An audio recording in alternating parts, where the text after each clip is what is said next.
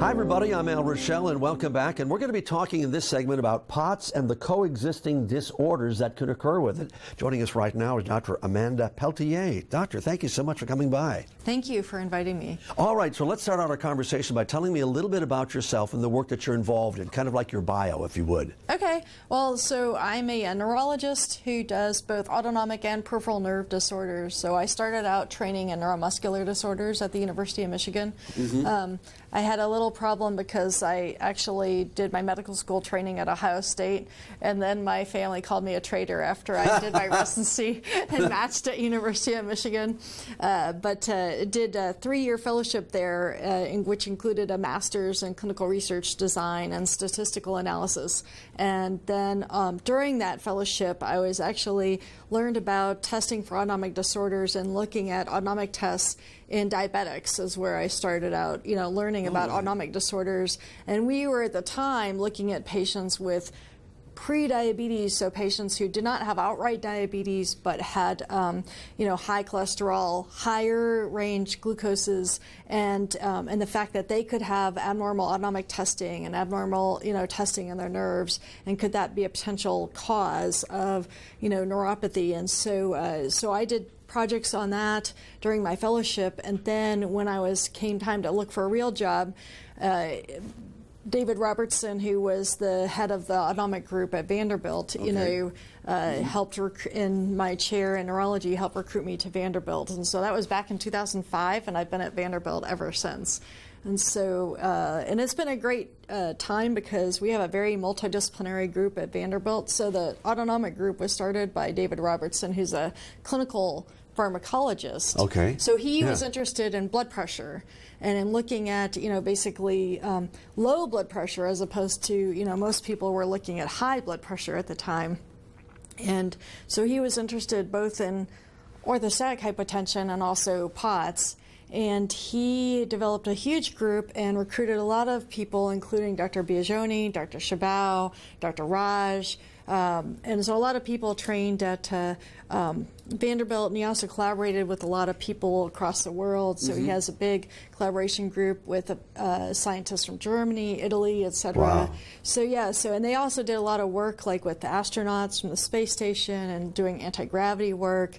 Oh, um, that's so they've done a whole bunch of interesting things. So let's, know, let's so let's get back to the POTS. How did how does POTS tie into all these things? Because are there some other underlying conditions that occur as a result of POTS or come along with POTS? Not that POTS may cause it, but but whatever. So, I mean, they saw a lot of POTS patients over the years, you know, who referred to the autonomic group. And it was David who really um, kind of like to tell people about the fact that this is not a new syndrome. It's been going on for you know hundreds of years and has gone by different uh, monikers over time. Oh. So back in World War One, it was called soldier's heart because um, the World War One soldiers would develop the same syndrome, you know, when they came back from the war. Oh, gosh. Um, in the 1880s, you know, women with it were, called, you know, told they had neurasthenia and you know, um, and you know, so and then in my generation, it was called mitral valve mitral valve prolapse, prolapse which I had heard of. Yeah, yeah. You know, and then and then Phil Low coined the phrase POTS, um, and it's a helpful phrase, but in some ways it's not very helpful because the POTS only talks about the high heart rate. And so the problem with it is it kind of excludes all the other stuff that comes with that you oh, know, gosh. syndrome. Yeah, yeah. You know, because most of the patients that we see have more symptoms than just the high heart rate and lightheadedness. Mm-hmm. Um, you know, so but uh, um, so that was kind of the moniker that stuck probably the longest. Right. You know, and then but then the issue is is that it's a syndrome. So the problem with a syndrome is it's a collection of symptoms and signs, but there can be many different causes. So like our group. Um, you know, has you know looked at a whole bunch of different um, causes, and they've identified patients who presented with POTS who ended up having mast cell activation syndrome, mm-hmm. patients mm-hmm. who've had uh, genetic syndromes. Um, different autoantibodies, and so they have looked for different things over the years, um, and uh, and it's helpful in some ways, but it's also in some ways can be somewhat challenging because it's uh, you know, looking for the individual causes. um, is hard when there's you know hundreds of possible different but, causes. But you almost, and we know that, that being a doctor oftentimes involves a checklist of things that you eliminate first as you go down there. And because there are so many things that you can't eliminate or are not sure. So in some of these other deficiencies, then, then where are we right now? Do you have to do all of these tests?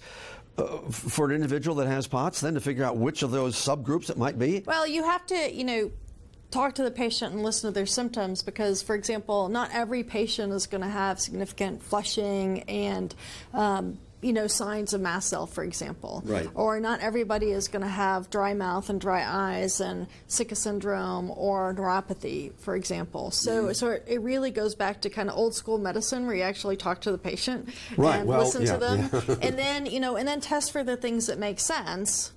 Um, and you know and you can always add tests later on but you know you're trying to strike that balance of not over testing because the problem with over testing is that you know you know, just by chance alone, you're going to find something abnormal. And then oh, the question true. is, are yeah. you going to chase it down the rabbit hole and cost the patient a lot of time, effort, and money, you know, testing for stuff that really doesn't make any sense or doesn't really fit well with what their so since you've been doing this for a long time have you have you seen progress or to the point where you can say okay now reasonably speaking these are the tests that we should be concentrating on rather than having to do what I call the shotgun approach which is you point a shotgun and the pellets fly all over and you, you try to grab each one of the pellets and, and you'll be chasing pellets the rest of your life Right. Well, I think we all agree on a kind of a nucleus of tests, and then I think you know beyond that, then it's determined by the patient. Mm-hmm. You know, so all of us will test for thyroid. That's a given, um, especially since it's so common.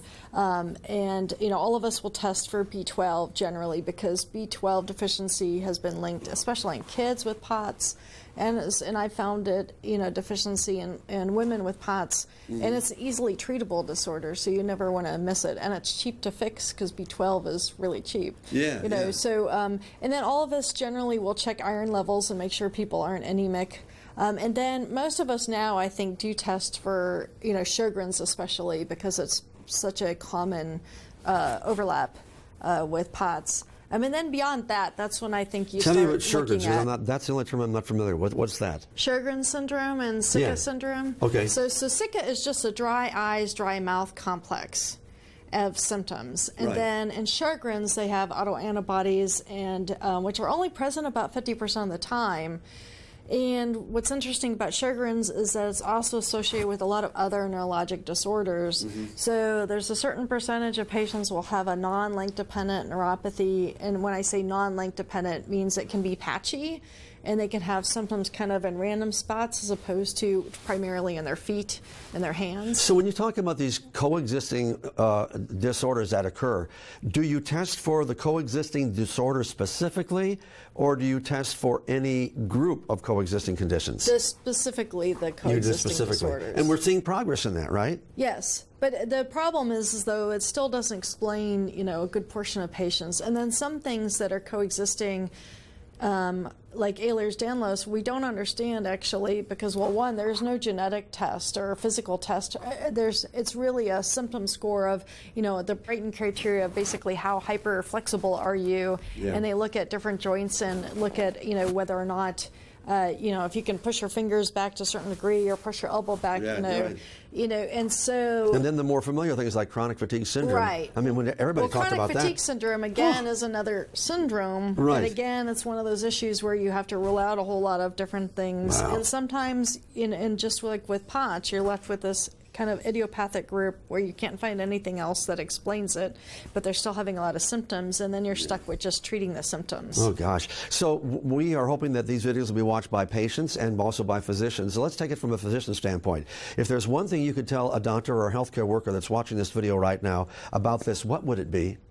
Um, I think it's one is that uh, these patients a lot of times can be helped with very simple measures. I think that's the important thing is that a lot of patients, even if they have all these coexisting conditions, still the basics of hydration, salt, and exercise are probably the most helpful things that any patient does. You know, Sure. you can add plus minus beta blockers, you can add plus minus other medicines, but really those three are still kind of the bedrock of treatment. Mm-hmm. And I would say the vast majority of patients still respond to just those without having to go on to have other treatments. And that's the same message you would actually have uh, for patients that might be watching this as oh, well. yes. No, Follow I that mean, treatment. And, and many of my patients um, who do, um, you know, are able to exercise and do stuff will find improvement of symptoms. I think the, the, the thing that's frustrating to them is that it's a treatment, but it's not a cure. So Right, if they right. stop exercising and they,